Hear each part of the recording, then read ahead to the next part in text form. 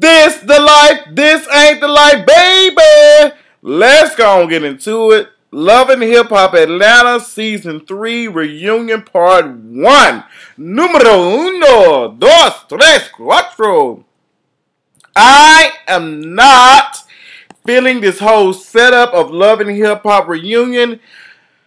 Uh, it, it just it was out of element. It was just I didn't like it. I didn't like it. Um, the cast backstage shit I thought it was unnecessary because maybe because it just didn't get to the shit that the nit and grit, like the shit that I really want to see, the meat and potatoes, not this other bullshit. Um, it, they just they showed too much. It showed too much. Let's go and start from the beginning.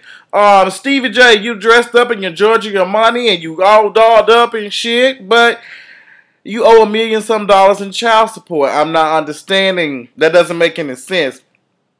How you eating better than your kids? I've always been taught that your kids eat first, then you eat. But you know that's that's none of my damn business. I need you to fix that. I need you to get it together. Sommore. I love you to death, baby. You are funny. I remember growing up from watching you from um the Queens of Comedy. Y'all came to Memphis and recorded. it. Loved it. But baby, you was reading that damn teleprompter, and I thought you were you some kin to Mayweather the way you were reading that shit. I can see your ass was reading the damn lines and shit, and it was just no life. Sommore for you to be so much so funny, you had so much material. You had so much material to talk about, and I felt like have you been watching the show? Have they sent you the DVD for you to watch everything? Like, how can you not? You just seem like you didn't know. And Mona Scott, I'm glad you have, you know, took yourself out from doing the damn um the, the hosting shit.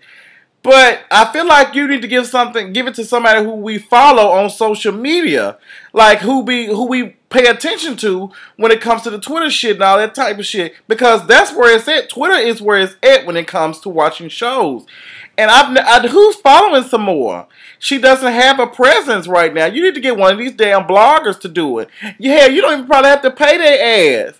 All you got to do is make sure they got a room to get their makeup and shit done or something. I mean, you can get of these, all they want is the recognition. And you ain't, I mean, I just don't understand. You need to get one of them to do it. You can ask me, hell, I'll do it, baby. I'll be all up in this shit. But I just feel like, you know, it, it was Sommore just, she just was so dry. She was so damn dry. She had no presence at all. And I love Sommore to death. But she was just sitting there looking like a goddamn hefty fucking black garbage bag. Just sitting there worthless. Needs to be taken out. Um. I love you though. Um, Scrappy, I can look at you and tell that you are a very abusive man. The way you um talk to women and the way you talk about women. You when Erica Pinkett was coming at you talking about she wouldn't give you none of the pink puss. Your response, well, I can get pussy from any of these bitches out here. I'm like, also every woman is a bitch. I cannot stand to hear a man refer to women as a bitch. I hate it more than anything. I just hate I correct men all the time about that when I'm at work. All women are not bitches. You do not use the derogatory ass shit to to talk to women. They're not going. I hate it. I hate it. I hate it. I hate it so much. Um, what else was going on? Um, the Bambi and Scrappy. I don't give a fuck about their relationship. We spent 20 minutes talking about Scrappy and Bambi and going through flashbacks. I know what y'all doing. Y'all trying to to weed this shit out. Bitch, y'all are giving me Harry Potter, the end, the last book tease, and um, Hunger Games. This reunion can be wrapped up in really fucking 45 minutes, to be honest. Y'all could have did one hour and did another 15 goddamn minutes. This, like all these flashbacks, girl, we watched Love and Hip Hop. We've been paying attention to it. Y'all act like we've been, um, like y'all had gone for two months. Y'all had pulled a scandal on us. Y'all had to catch us up. I don't need all the damn flashbacks. I hated the flashback. It pissed me off so bad.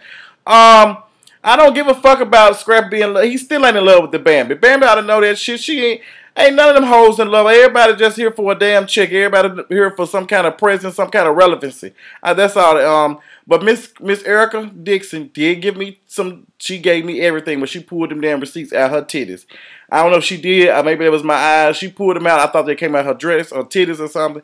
And she started hitting the receipts, the hotel receipts.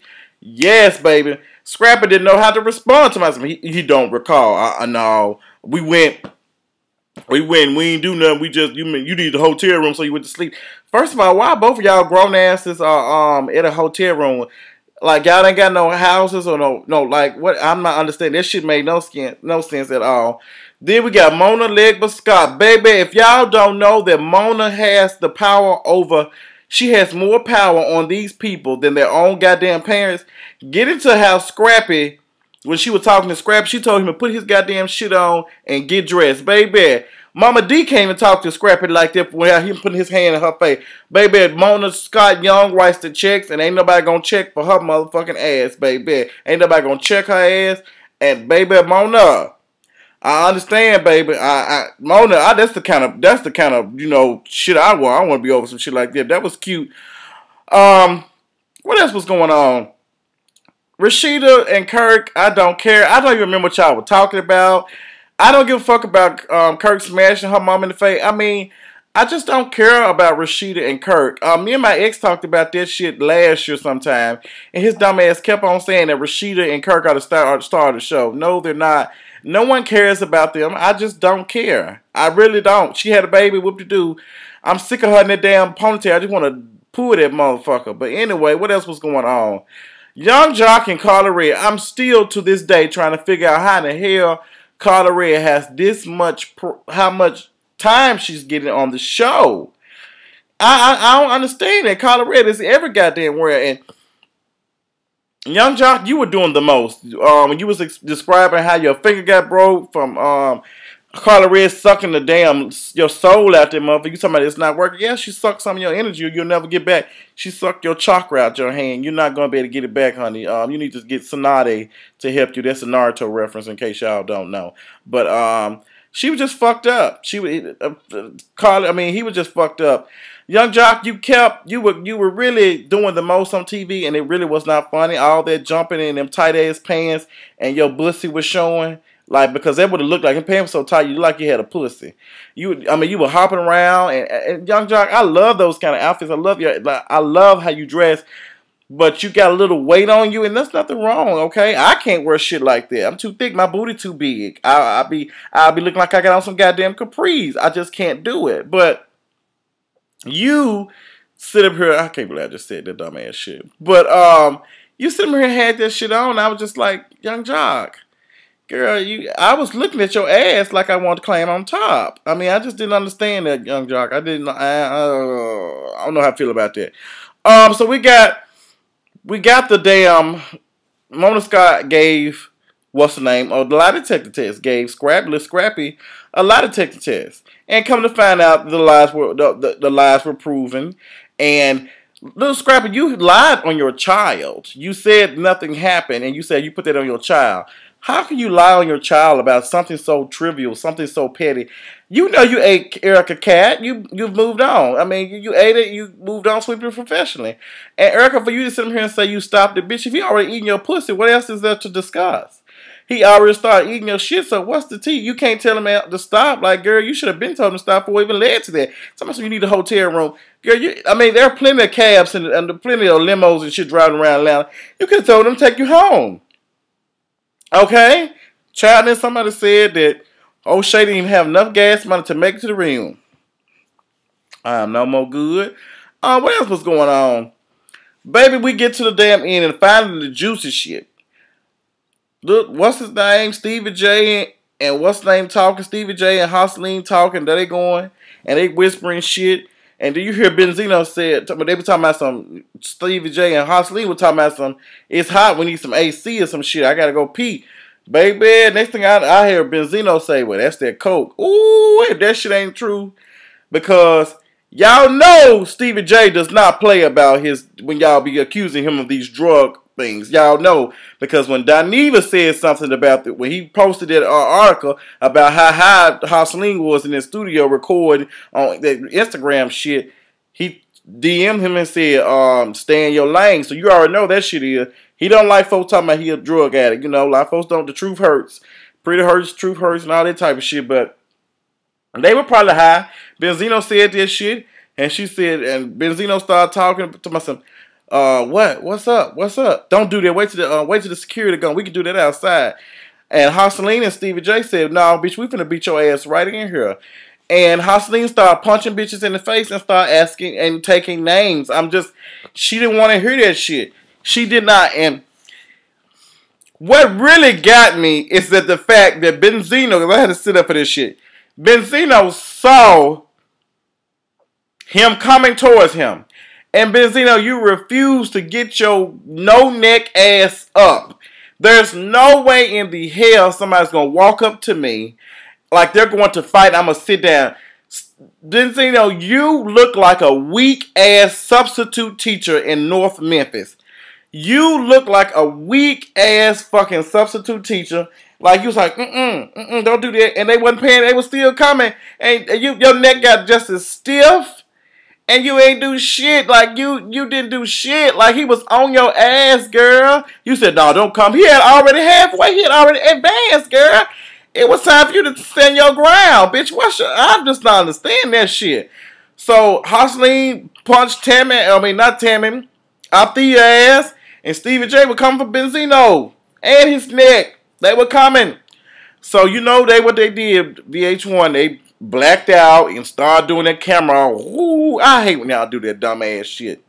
Can y'all stay fucking focused and let us see what the fuck is going on? Go on pay them goddamn fines and let us see. Okay? Mona, you didn't gooped us again with this long ass goddamn reunion, bitch. I need to see the real T, not this bullshit. Okay? But other than that, this reunion was boring. I actually fell asleep um halfway through because Kirk, whoever who would put me to sleep, Little Scrap and, and Erica would put me to sleep, and then Kirk got on there and put me even more sleep. And Karlie Redd, I don't give a fuck about none of their asses. All their asses is boring. So I just didn't get it. But overall, it got better. Um, I hope that we see some shit go down.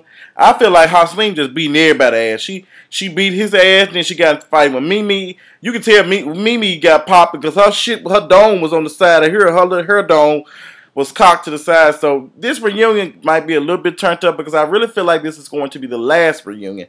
I don't feel like it's going to be another season. It's going to be a season four of Love and Hip Hop Atlanta. I just really don't. If it is, it'll probably be a new cast because we're bored. I'm going to tell you this. September 15th, Love and Hip Hop Hollywood is going to blow all the other Love and Hip Hop franchises out the damn water.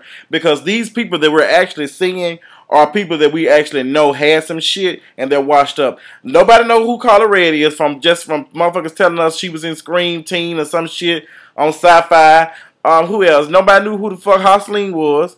Nobody knew who Mimi was. I'm just not too much learning who Stevie J was, you know, and considering how much he done wrote and he done did all this, I don't know him.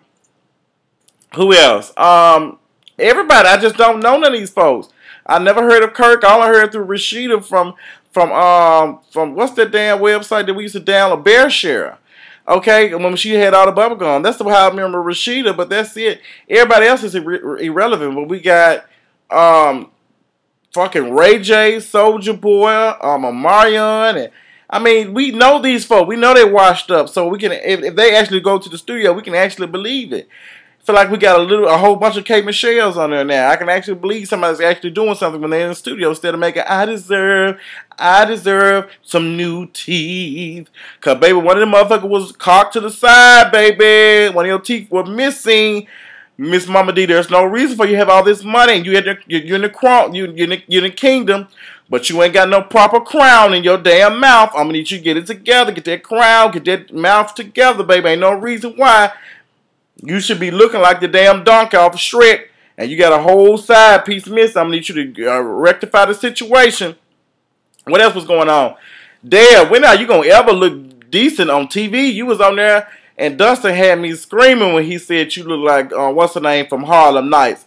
Baby, all I did was see Deborah with a with a damn lippy ass knife, like she could ready to cut a goddamn butterball turkey. Talking about some, um, I'm, you shot me in my pinky toe. Now I got to cut you. So that was fun as hell. Uh, I, am just, I'm ready. I'm ready. Joseline, I'm standing for you because you. I don't like to do all the talking. I like to fight. I love it. Joseline is consistently ratchet. I love it.